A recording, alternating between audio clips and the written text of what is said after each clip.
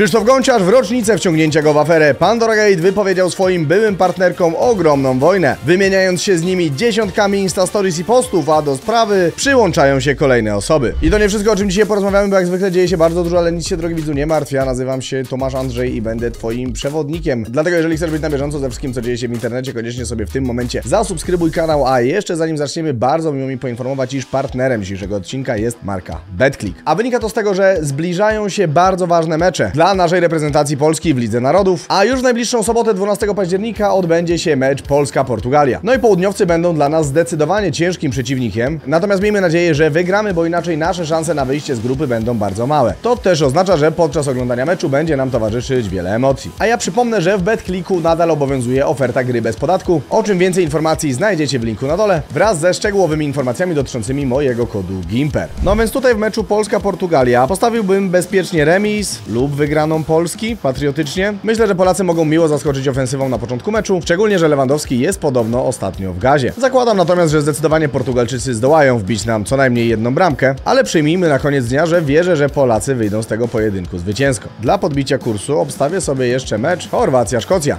I tutaj zdecydowanym faworytem są Chorwaci, ze zdecydowanie mocniejszym składem, dlatego postawię tu na nich, pomimo, że ich wygrana może nam przeszkodzić w wyjściu z grupy. Tak to się prezentuje, pamiętajcie natomiast, że są to tylko i wyłącznie moje przewidywania i nie muszą być A także przypominam, że szczegółowe informacje na temat mojego kodu GIMPER oraz gry bez podatku znajdziecie w linku na dole. I nie zapominajcie, że jeżeli to wy zdecydujecie się obstawić jakieś zdarzenia, to róbcie to odpowiedzialnie i za niewysokie stawki, głównie dla zabawy. No i co ważne, obstawiać mogą jedynie osoby pełnoletnie. A my tymczasem zaczynajmy. A zaczniemy sobie od omówienia ciekawej sytuacji w stajni Konopskiego. Jak zapewne wiecie, od jakiegoś czasu YouTuber zajmuje się produkcją mniejszych kanałów newsowych, które mają za zadanie zapełnić różne nisze na rynku. Tak oto powstał kanał Wotum dotyczący tematów politycznych, plotkary, które skierowane są bardziej do widowni kobiecej, czy profil napięści, który kierowany jest do fanów freak fightów. Wszystkie te projekty są bliźniaczo podobne do kanału Konopskiego, z tym, że prowadzą je inne osoby niż on, a także poruszają inną tematykę. Natomiast co ciekawe, po około półrocznej współpracy jeden z prowadzących, ten z kanału politycznego Wotum, zdecydował się z kooperacji z Konopskim zrezygnować, a na swoim Insta Stories podzielił się kilkoma gorzkimi przemyśleniami. Życie nie wygląda tak, jak widzicie je na social mediach. Kanał od dłuższego czasu miał swoje problemy, które bardzo mocno odbijały się na mojej psychice. I ci bardziej spostrzegawczy z Was zauważyli, że z tygodnia na tydzień byłem coraz bardziej zmęczony i przygaszony. Mimo tego, że ja wkładałem w Wotum 100% siebie, to bardzo często nie było to ani dostrzegane, ani tym bardziej doceniane. Kanał robił po 60-90 tysięcy wyświetleń na film, ale ciągle było to za mało. Siedziałem po nocach przygotowując odcinki, za mało. Za własne pieniądze przejechałem całe województwo dolnośląskie, żeby przygotować dokument z powodzi, za mało. Cokolwiek bym nie zrobił, ciągle było za mało, a nie widziałem podobnego zaangażowania po drugiej stronie. Pisze Julian Wąsek, dodając, że zaoferowane wsparcie marketingowe było jego zdaniem mierne. Twierdzi, że kanał zrył mu psychikę i uzależnił go od statystyk, a także całkowicie odebrał mu przyjemność zrobienia YouTube'a, którą nosił sobie od dziecka. Na koniec dodał, że mimo wszystko dziękuję Konopskiemu za współpracę i twierdzi, że wiele się od niego nauczył. No i generalnie ten obrazek wygląda całkiem niepokojąco i smutno. Natomiast niedługo później, jak storki Juliana zdobyły kilkaset tysięcy zasięgu na Twitterze, zdecydował się on wrzucić delikatne sprostowanie. Podkreślił, że nie zgadza się z negatywnymi komentarzami o Konopskim, które pojawiają się w komentarzach. Podkreślił, że rzeczy, które pisał na swoich storkach dotyczyły całości organizacji pracy, a nie stricte Mikołaja. I podkreślił, że chce się rozejść w neutralnych stosunkach. Co ciekawe, Konopski na swoim najnowszym odcinku nie odniósł się w żaden sposób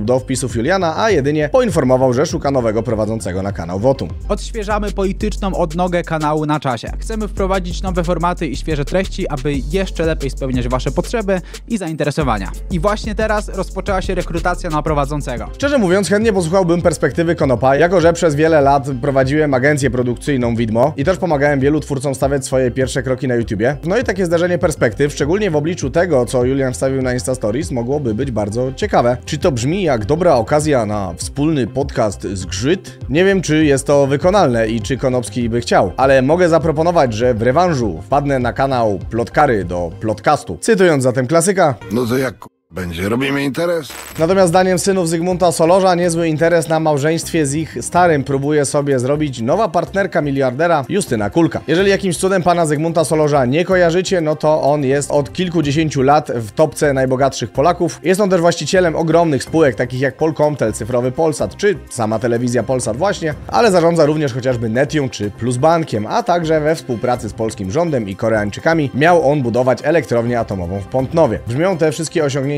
przepotężnie i od bardzo wielu lat miliarder miał w planach wszystkie te firmy i ten majątek, który zbudował, przekazać swoim dzieciom. Piotr i Tobias, czyli jego synowie, byli do tych ról przygotowywani już od naprawdę wielu lat, zasiadali w radach nadzorczych, zarządzali poszczególnymi spółkami i mocno byli zakotwiczeni w strukturach ojca, aż do czasu ślubu z nową partnerką miliardera. Od tego bowiem wydarzenia zaczęły się dziać zdaniem niektórych dosyć dziwne rzeczy. Stan zdrowotny Zygmunta Solorza miał się znacząco pogorszyć. Nowa małżonka miliardera Justyna Kulka zaczęła być bardzo intensywnie wprowadzana do należących do niego spółek, a firmy zdają się być czyszczone z ludzi, którzy pracowali tam i zasiadali chociażby w zarządach czy organach nadzorczych przez ostatnie 15-20 lat i z perspektywy osób trzecich wygląda to jak pewnego rodzaju przejmowanie władzy w tych firmach, które w dziwny sposób zbiega się w czasie z pojawieniem się w życiu miliardera nowej małżonki. Cała sprawa urosła do tego stopnia, że dzieci Zygmunta Solorza zdecydowały się do władz spółek napisać list, w którym wyrażają swoje zaniepokojenie całą sytuacją, a miliarder zdecydował się na ten list odpisać i go opublikować. Twierdząc, że może i przez ostatnie kilkanaście lat przygotowywał dzieci do tego, żeby zarządzały spółkami, no i robiły to nieźle, ale jakoś tak mu się ostatnio odwidziało, no i jednak zmienił zdanie, a skoro to jest jego imperium i jego firmy, no to może przecież sobie tak zmienić zdanie i w ogóle o co chodzi. Napisał miliarder, a wiele osób zwróciło uwagę na podpis na tym dokumencie, który wyglądał jak naskrobany przez osobę prawie że na łożu śmierci. No i rzeczywiście kilka dni temu, 7 października, odbyło się spotkanie,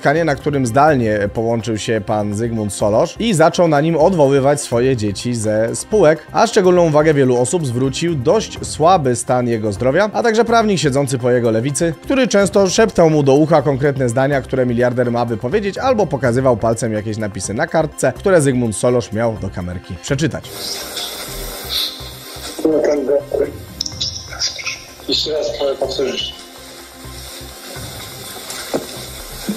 Wiele osób ten obrazek porównuje do słynnej sceny z Władcy Pierścieni, kiedy to żmijousty Grimma miał szeptać do uszu króla Teodena rady, które doprowadziły jego królestwo do upadku. Jest to sytuacja bardzo ciekawa, bo wygląda na to, że mamy tu pewną wojnę wewnątrzrodzinną o kontrolę nad przejęciem olbrzymiego majątku jednego z najbogatszych Polaków. Aktualnie najbliższym kluczowym terminem jest 14 października, bowiem wtedy ma odbyć się rozprawa w Liechtensteinie dotycząca przejęcia kontroli nad fundacjami Solorza, które miał przekazać synom, ale w bardzo nagły i dziwny sposób zdecydował się te decyzje wycofać. Cały ten temat natomiast będzie na pewno o wiele dłuższy i bardziej skomplikowany niż tylko jedna sprawa i z pewnością wewnątrz tych wszystkich firm dzieje się aktualnie potężna wojna pozycyjna na naprawdę wielu frontach, a fakt tego, że wojna o władzę zdaje się mieć miejsce pomiędzy nową żoną miliardera a jego dziećmi nadaje tylko tej całej sprawie ogromnej pikanterii. Osobiście bardzo mnie ciekawi jak się to wszystko zakończy, jak dowiemy się więcej informacji w tym temacie, to na pewno dam wam znać. Zakończył się też związek Julii Żugaj i Shio. To smutne, i nagrali w tym temacie bardzo emocjonalny i również bardzo smutny filmik. Jakiś czas temu podjęliśmy pewną decyzję i efekt tej decyzji jest taki, że nie jesteśmy już razem. No jak zwykle w tego typu sprawach można powiedzieć, że szkoda. Para była ze sobą naprawdę wiele lat. Niecały rok temu influencerzy się zaręczyli, a jeszcze niedawno informowali o zakupie wspólnego domu. Ktoś by powiedział, no dobra historia, jakich wiele popularni influencerzy się rozstają, co to kogo obchodzi. No a no bardzo obchodzi żugajki, które jak się okazuje mają swoją własną teorię na ten temat i w kierunku Julii Żugaj w jej community rozpętało się prawdziwe piekło, ponieważ aktualnie influencerka bierze udział w kolejnej już edycji Tańca z Gwiazdami, której swoją drogą radzi sobie naprawdę nieźle, czego jej mocno zazdroszczę. Jak zapewne się natomiast domyślacie, jej partnerem tanecznym no nie był Maciej Shio Acemont, ale zawodowy tancerz, który uczy ją w tym programie, jak należy poprawnie wykonywać kroki i rozmaite figury, które przedstawiają w kolejnych odcinkach, a to oznacza dużo bliskości, kontaktu fizycznego i spędzonego wspólnie czasu, co może powodować nie tylko zazdrość u potencjalnego partnera, ale także pojawienie się pewnej emocjonalnej więzi i sytuacji, w której po prostu może dojść do zdrady. I właśnie to zdaniem Żugajek przyczyniło się do rozstania pomiędzy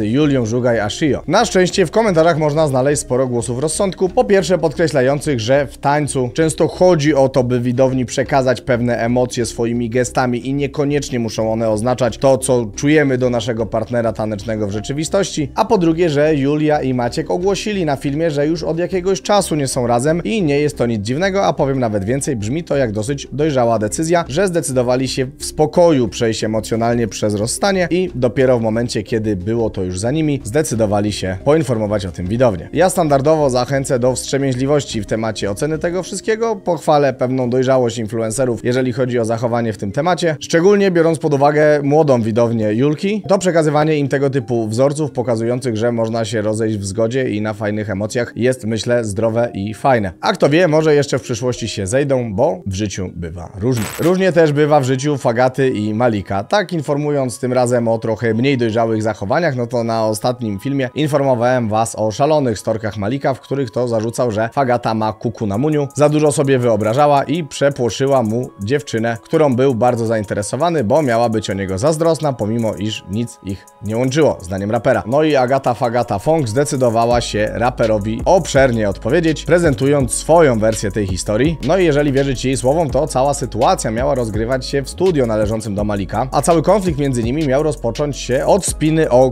kolegę, którego Fagata tam do studia przyprowadzała, żeby się z nim obściskiwać i przytulać. Malik miał tego znajomego ze studia wyprosić, natomiast później samemu do tego studia zapraszać jakąś koleżankę, z którą on sam się obściskiwał i flirtował. Ta dziewczyna miała być też zresztą dla Fagaty bardzo niemiła i chamska, szczególnie w momentach, kiedy Malik opuszczał studio. W związku z tym Agata również zaczęła jej wbijać szpileczki, mówiąc na przykład, że ta dziewczyna będzie dla Malika tylko na chwilę, a ona, czyli Fagata, to będzie dla niego na zawsze. Dziewczyny zaczęły się mocno obrażać, wyzywać od i niedoszła wybranka serca znanego gangstera rapera wybiegła ze studia z płaczem. Tak ją Fagata przepłoszyła, co wynikało z tego, jak sama przyznała na swoim filmiku, że ma problemy z agresją. Malik ma mieć o to do Fagaty żal i od tego czasu nie mają ze sobą kontaktu. Raper z wytwórni GM2L zdecydował się Fagacie odpowiedzieć dwoma filmikami. Co ciekawe, jeden z nich został dodany o trzeciej nad ranem, a pół godziny później usunięty. Moje miejsce pracy, miejsce, w którym ja pracuję. Like, bro, why would you do this? Dlaczego? Nadal nie potrafię pojąć, jak można być takim egoistą.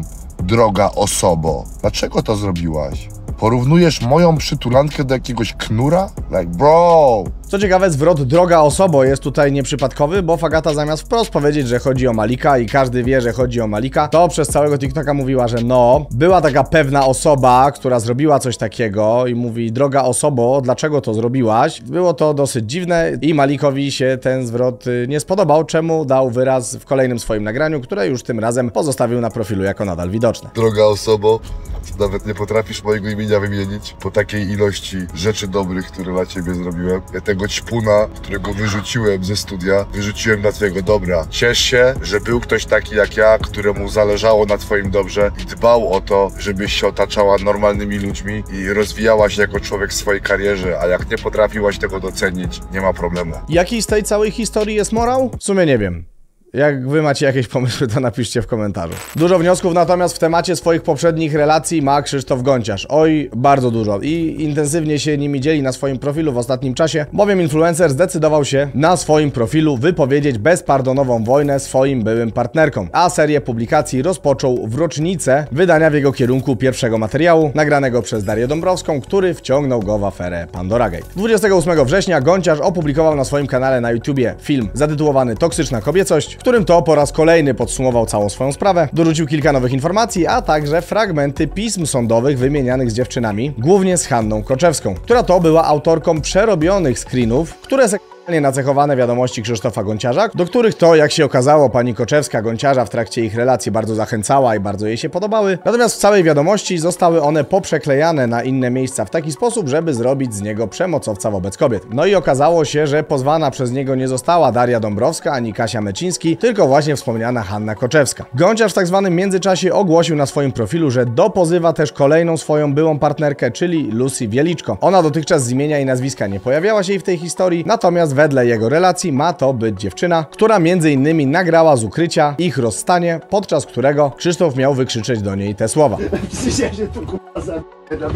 Nagranie swego czasu miało być dowodem na to, że Krzysztof Gonciarz jest niestabilny emocjonalnie i dręczy oraz szantażuje kobiety, z którymi się spotyka. Natomiast wedle wersji youtubera był to tylko fragment wycięty z długiej rozmowy i sekundę po tych słowach przeprosił za to, co powiedział i dodał, że takie słowa nigdy z jego ust nie powinny paść. Czemu oskarżające go panie nigdy nie zaprzeczyły, więc myślę, że można tę wersję wydarzeń przyjąć jako prawdziwą. Aktualnie na profilu Krzysztofa Gonciarza pojawia się dziennie od kilkunastu do kilkudziesięciu Insta Stories w tym temacie, a post posty z podsumowaniami jego wojny przeciwko byłym partnerkom możemy zobaczyć na profilu niemal codziennie. Przepraszam, częściej niż codziennie, bo w ciągu 11 dni opublikował on 18 postów, które są głównie podsumowaniem instastoryk jego oraz dziewczyn, które próbują mu jakoś na tych swoich storkach odpowiadać. Chaos informacyjny w tym wszystkim jest naprawdę ogromny i ciężko się w tym połapać. Ja sam dzisiaj chyba z dwie godziny przeglądałem to wszystko bardzo powoli i robiłem notatki, żeby absolutnie niczego nie przekręcić, a i tak musiałem pominąć 70% wątków przy relacjonowaniu tego, żebyście jakoś tą całą plątaninę zrozumieli. W międzyczasie, poza relatywnie merytorycznymi argumentami i kłóceniem się o stan faktyczny, przebrnąć w tej wymianie zdań musimy przez absurdalne monologi próbujące udowadniać dziwne rzeczy. Na przykład Daria Dąbrowska twierdzi na swoim profilu, że Krzysztof Gonciarz kupuje negatywne komentarze pod jej zdjęciami, chcąc ją zaszczuć i publikuje w tym temacie ogromną ścianę tekstu. W innym miejscu Krzysztof Gonciarz twierdzi, że podczas całej wykręconej mu afery różne losowe, dziwne konta wrzucały w jego temacie niesprawdzone informacje, próbując eskalować sytuację, a potem dziewczyny je do siebie udostępniały. Jako natomiast pewne podsumowanie i przesłanie tego wszystkiego, zaczął on kierować narrację w stronę statystyk samobójstw wśród mężczyzn, podkreślając jak mocno tego typu fałszywe oskarżenia mogą być dla facetów obciążające psychicznie. I w tym momencie do całej sprawy dołączyła się kolejna osoba, jakby to wszystko nie było dostatecznie zawiłe. No więc słuchajcie, Karolina Domaracka. Jak czytamy na jej profilu, ekspertka i krytyczka mody. Z dużymi tendencjami do bawienia się w domorosłą panią psycholog, bowiem bardzo często na swoim profilu decyduje się ona na stawianie bardzo obszernych psychologicznych diagnoz, używając mocnych słów, bazując na tak naprawdę strzępkach informacji z internetu. Narcystyczna matka analiza, pisze Karolina na podstawie jednego TikToka z profilu Mama Iwerka, dodając oczywiście z gwiazdką, że jak coś to ona nikogo nie diagnozuje i tylko zwraca uwagę na narcystyczne wzorce zachowań, które nie muszą świadczyć o jednostce chorobowej. W wyróżnionych relacjach obok mamy analizę tego, czy jakiś ziomek jest psychopatą, serię stories na temat toksycznych zachowań w szkole, mocny coaching w temacie narcystycznej matki teściowej czy babci, aż w końcu otrzymaliśmy ogromną serię kafelków dotyczących Krzysztofa Gonciarza, który zdaniem stylistki jest manipulującym narcyzem, który próbuje z ofiar zrobić sprawczynię i tak Karolina innymi pisze o próbach obrony Gonciarza przed zarzutami, które były mu stawiane. Screeny przedstawione przez Hanie nie były fałszywe, to były twoje wiadomości do niej. No tak, bo wypaczenie kontekstu i manipulacja nimi wcale nie miała miejsca. Blokowałeś ją i odblokowywałeś jak psychol. Kiedy w końcu ci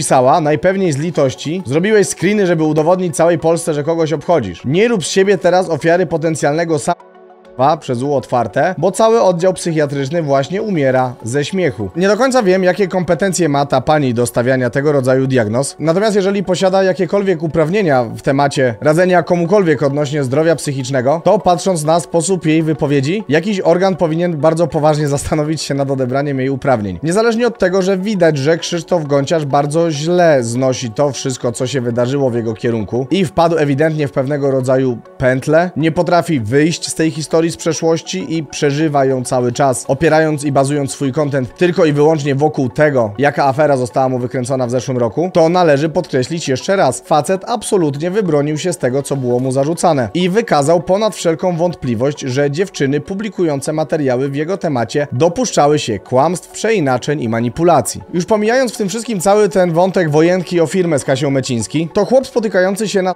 z dorosłymi laskami został publiczności namalowany jako całkowity zwyrodnialec, a jak się później okazało, sytuacja była zupełnie inna. Czy jest dziwnym, że w obliczu tego rodzaju linczu i nagonki mogą pojawiać się problemy psychiczne lub nawet myśli Absolutnie nie. I pomijając pewną obsesję i zafiksowanie się Krzysztofa Gonciarza wokół tego tematu, to tego rodzaju silne emocje są jak najbardziej zrozumiałe i podzielenie się nimi powinno być raczej uznawane za akt odwagi. Szczególnie, że powiedział o tym nie w momencie, kiedy paliło mu się pod dupą i musiał się bronić, tylko w sytuacji, kiedy cała ta akcja była już wizerunkowo opanowana i w mojej opinii nie było to działanie nastawione do tego, by zebrać sobie jakieś punkty w opinii publicznej, a bardziej szczere wyznanie. W związku z tym losowa influencerka stylistka z Instagrama wyśmiewa to, pisząca o próbie czyli przez zło otwarte, obrażająca go i pisząca, że cały oddział psychiatryczny pokłada się ze śmiechu, brzmi jak dobry materiał na totalny cancel, którego pewnie i tak nie otrzyma. Natomiast na swoich storkach pani stylistka Karolina zdecydowała się pójść nawet o krok dalej. Krzysztof, pokaż nam te próby